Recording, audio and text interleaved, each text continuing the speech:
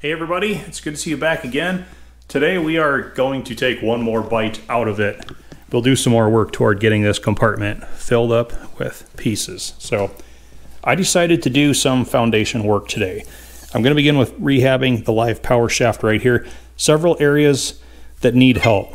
So spin it around to the first spot. We've got this keyway that is all wallowed out on the end right here. That is where the coupling for the live power hydraulic pump attaches. Ignore all of that wear for now. That will be addressed at a later date. So you can see it's quite wide right here and someone has been doing some punch work to tighten that up. I think what they were trying to do is keep the key from migrating this way. Now if everything was fitting properly and the key was not worn, there's a step, there you can see it right off the end of the screwdriver, right there that key slot steps up shallower there and goes deeper there. That step should have located it, but with everything worn so bad, I think that was their solution for keeping the key in the coupling. The second place we need to look at is this pocket right here. We had a set screw that decided to start cutting threads in the side of it, so we need to close that up a little bit. And the third spot is the drive splines down here at the end. So when you look at the shaft from this direction, it looks like there's a twist in them, but there's not. That's just where the coupling actually cut into each one and took the material away. You see the reverse side, they're all nice and straight. So we need to fill that with some weld. We need to fill the pocket with some weld and we need to close this keyway up at least this far and I'll just recut it. So one thing we do have going for us this whole shaft, again, is mild steel, so it doesn't matter how we weld on it. We are not going to change anything. So that's our plan, at least to start with. Let's get all sparky with it.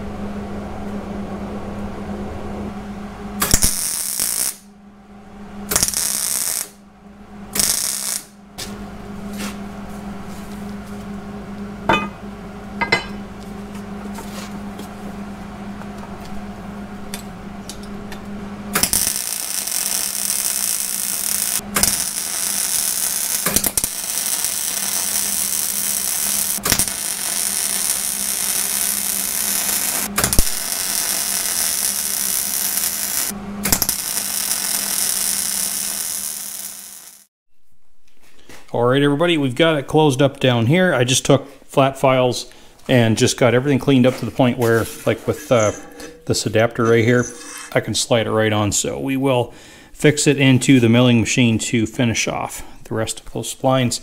Here's what I plan on doing, all right? You can see I took the center out of a couple large hex nuts and I have them um, drilled and tapped for a set screw 180 apart, so there's two in each one.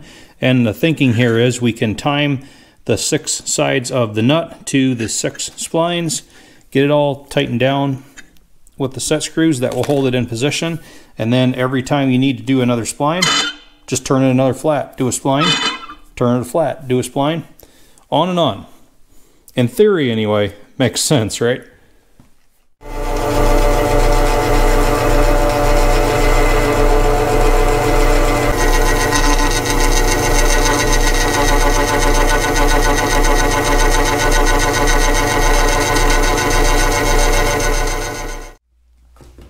Okay everyone, we've got our step keyway established once again. So we are full depth right to about here where it kicked up the last time and then we kept the uh, top end of it here intact. So that was a rather difficult cut because I didn't have this end very well supported with my setup. I decided to go slow. Luckily it all worked out. So now we test the new key that I've got. These are 3 16ths square keys. We want to check the fit. And this is not trimmed to length yet either. We're just testing it. And yeah, have to tap it in. Good tight fit in there. I like it when you have to tap a key in just a little bit. And then the uh, live hydraulic pump drive coupling. So this is the old one. Again, another soft steel piece. those splines had just about worn their way through. I'm just going to put a production drive on there. It's the same thing. So held on the same way. And yeah, yeah, we can tap that the rest of the way on. Nice tight fit for that too. That gets all of that wobble out of the connection. So that's just the way I like to do it. Loosen that back up. All right. I really like how all this fits. So this was the easy one to do. The other end going to be a little bit more involved. So we'll flip that around in the machine and we basically carry out that same step six more times for this end.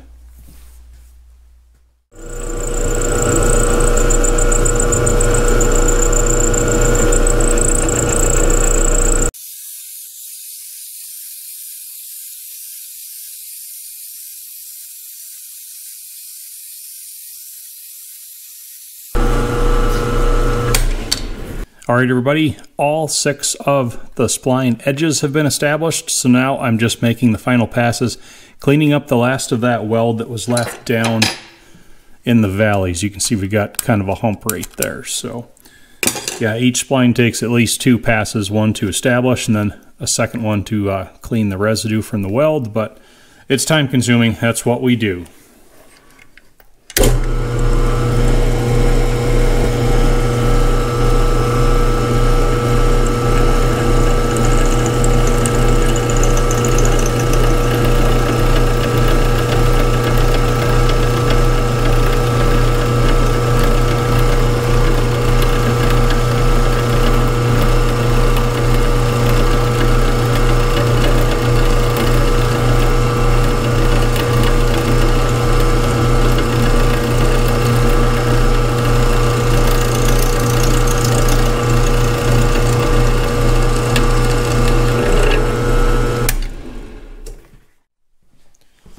Okay, everybody,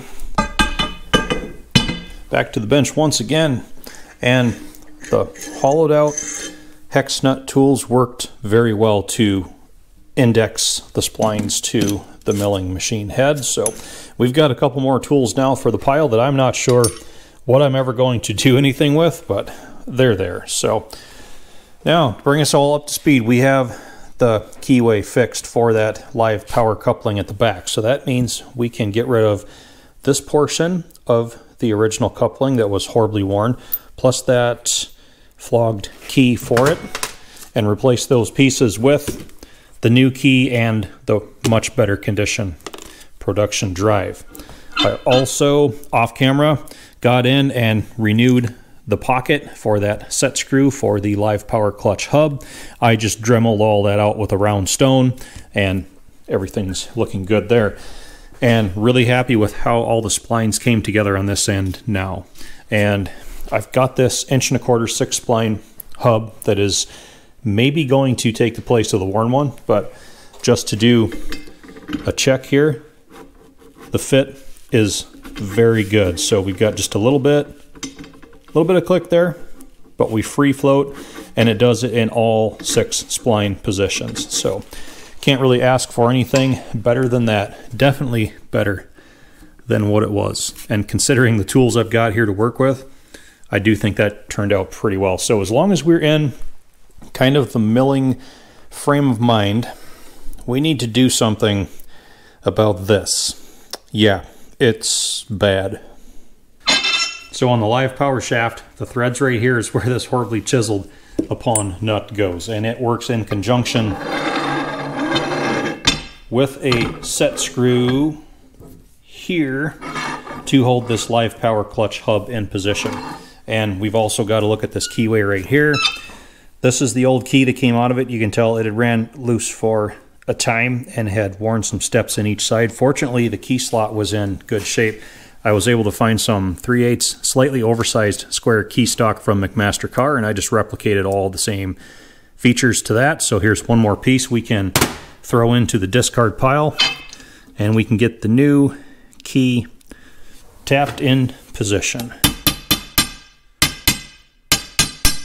Again, I like it when you have to tap a key in place. You know everything's going to be tight then. So now we can start the hub on to the new key, nice and tight. But first, remember this pocket that we just renewed because the set screw had started biting into it a little bit. When we push this hub on all the way, yeah, good fit right there. The set screw is on a like a 45 degree angle right here, and it will go down and land into that pocket. And its job is to not only cinch the hub to the shaft, but once it bottoms out, it actually starts drifting the hub further up the shaft. So I think you'll be able to see it move when I see it. See how it moves it? Turn it out, it goes back. Turn it in, it slides forward. That set screw in conjunction with the nut here cinching on the front of that hub is what locks it in position on the live power shaft and dictates the gear mesh on the shell here at the back, not only with the PTO gear down below, but with that belt pulley gear that comes in from the side. And the production shafts are set up much the same way. So we've got the same 3 8 key slot there. We've got the same set screw pocket back there. The main difference is the size of the threads right here. On the production shaft, which is smaller around than the prototype, these are like inch and 3 16 diameter threads, whereas this is one and a half by 18. And that means we could not use the production nut to swap out for this damaged one because it wouldn't even go on the shaft anyhow. So lucky us, we get to make yet another piece. So a few years ago, before we stepped away from X231 the last time, Senior and I got a good start on making a new nut. We have this blank right here. We got all of the threads cut on the inside, and we also made this dummy gauge of corresponding thread pitch just to be able to test the threads while the piece was still in the lathe to know if we had them at proper depth, whatnot. So all that is proved out pretty well. Now we just need to shape all of the outside features of this blank to match this nut. And it has to have all these same features if it is going to fit underneath the spider, which will lock down right on top of it. So we do have to replicate this fairly well.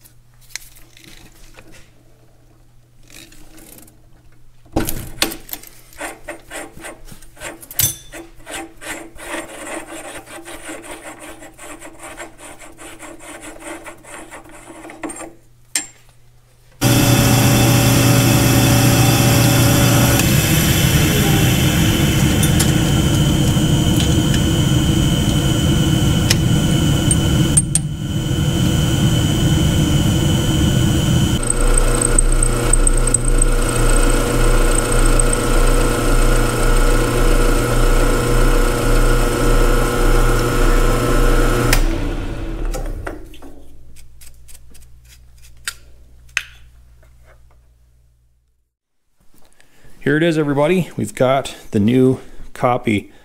I like that. I think it looks really, really nice. And side by side with the old one, we just replicated the notch at the top. Yeah. Only thing we didn't duplicate is all the chisel marks. So we are set up in that department here.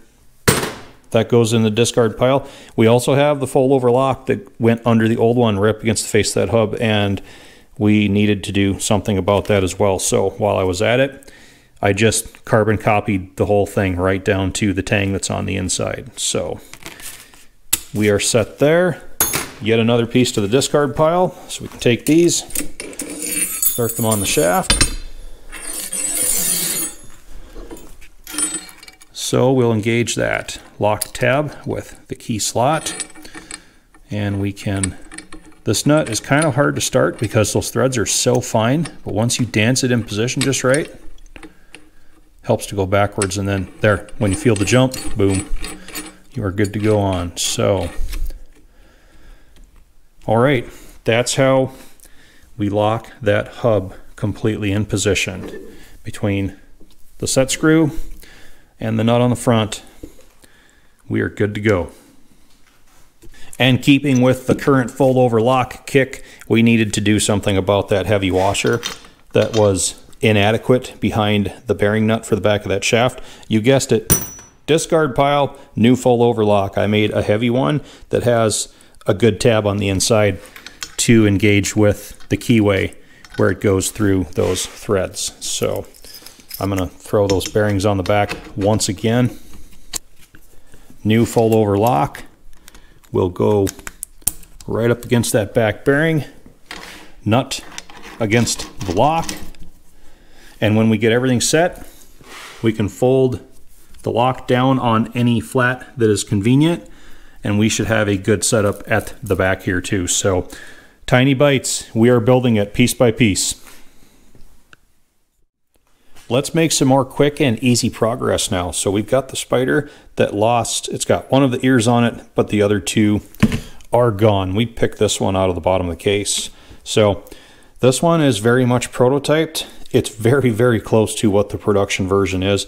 This one, they put this bushing in the center though, and it's not for having to spin on the shaft because this spider is locked to this hub. So it rotates with the shaft. The only thing it has to do is just slide about maybe an inch up and down the shaft as that clutch locks and unlocks again. So the reason they put a bushing in here, I believe, is because they sourced this hub and this pressure plate, the spider nut, and the spider all from Twin Disc. And they found that they had to get this piece out in front of those threads on a smaller diameter shaft, and they all had the same size hole in the middle. So they just pushed that down to inch and a quarter to fit that shaft. So I don't even need to put a bushing in the new one because the new one I have had an inch and a quarter straight hole in it already. I just had to hone it out just a little bit to improve the fit on the shaft. So we will get this one fitted as well. Test it up against the new nut that we made and it surrounds it perfectly. So very good fit on the shaft as well. Yeah, that's about all the travel that this has to cope with. So we are looking good in that department. So the next hurdle we have to clear is whether or not we can still use the prototype bronze yoke that used to be up on the top colored portion of the original. It does have 10x numbers on on them too. This is a 10x 6021 it's a bit rough cast, but I believe that's what it is. And I want to be able to reuse that prototype yoke because the productions are very different. It's just more of a saddle piece that goes down over the top of it. That's a 10A 7157. That would work, but it, this is all about trying to use as many prototype pieces as possible. And the halves went on just like that, and it should be all the same from what I've measured so far. So until we actually put them on, and check the fit. We don't know for sure, but yeah, that is perfect. We're doing this with one hand, but it spins freely. No bind when you push them together. Perfect. We get to reuse a couple of the prototype pieces in conjunction with a production. That's always a victory. So you guessed it, discard, pile. So the bolts are tight.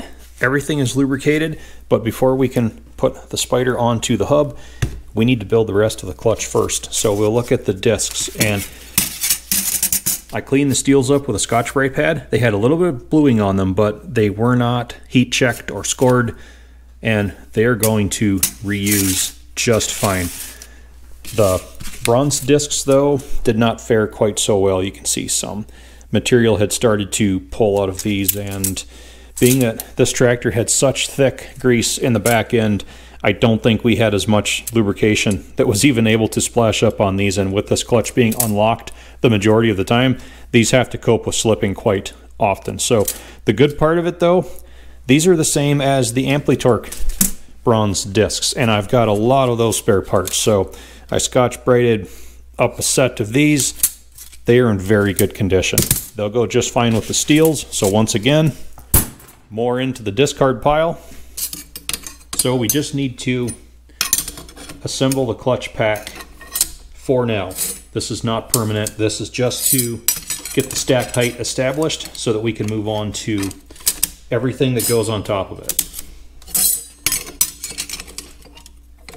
Just do bronze, steel, bronze, steel, bronze, steel, and finally end with a bronze. Stay there. And now the pressure plate. And we are getting into the pieces that killed the whole back end of the tractor the first time. Two of the three over center clutch dogs are still in place, and a third one, of course, came detached, and that's what bounced around and ruined everything in the whole back end. And we've got torn links and loose pins. And if you look at what they had going on here, they obviously had trouble with those roll pins walking out because they've put safety wire through just about every one. There's a wire in place there. And we still have a roll pin by itself right here. But we got wire through that one. We got wire through the ones on the bottom. So what I'm going to do is, of course, replace all three of these dogs because um, this one you can see is awfully bent. There was a lot of stuff that yeah, it still got torn off link ends on it. There's a lot of things that really came apart. So I've got three very good condition production ones, which are the same as what these are. So there's no difference there. And I've got good pins and good links for these. But what I'm going to do on this entire live power clutch is get away from the roll pins entirely. And we're going with cotter pins. All right. So I've got three main bottom pivot pins here that are all appropriate for cotter pin installs as well as the upper link pins here. And because like I said before, this clutch spends most of its life disengaged, these pins can travel around and vibrate and just move a lot more than everything in the Ampli-Torc, which stays engaged most of the time. When this clutch is locked over center and everything is engaged, none of these pieces can move. They're all held solidly in position. But considering this clutch will stay unlocked most of the time, I don't want to have to worry about roll pins moving around. So I'll get these two dogs out of the pressure plate, clean it up, and we'll move on. And good news, that pressure plate was in excellent condition. So flip on over there. Come on. There we are. We've got three very good clutch dogs and links in there. So that means we can take the ones we removed and yep, discard pile. It is growing by the minute. Now I can line the pressure plate onto the hub and the adjustment nut can go on now. This is going to be kind of a trick keeping these clutch dogs off of the perimeter of the, uh, the spider nut long enough to get everything threaded together. Zip, clutch, spider, and yoke now. And I'm not going to uh, do a permanent cotter pin fold on these link pins because I'm probably going to be taking this back apart. So we'll just throw it all together enough to test the assembly for now.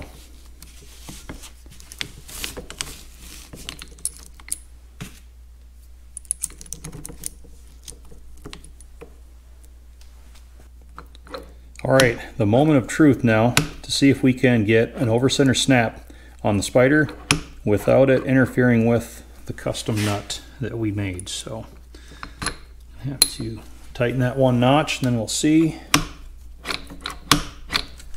Getting a little bit better. I think we're in the neighborhood too because there was some pretty good pin wear on that notch, a little bit on that one. Granted, we'd have to go a lot tighter than this to get a good snap out on the lever. We're just checking it by hand for now. So There. That's a good over center right there. And you know what? Get you all off the pole here. I can see, yes, we have excellent clearance down in there between the nut and the spider all the way around. So that means all of our new custom parts are going to jive with the production parts that are going to work with the prototype parts. I think we've got an episode. Oh, that was four days worth of work, believe it or not. Well, I know it really doesn't look like we got a lot put together today, but we actually made quite a lot of progress.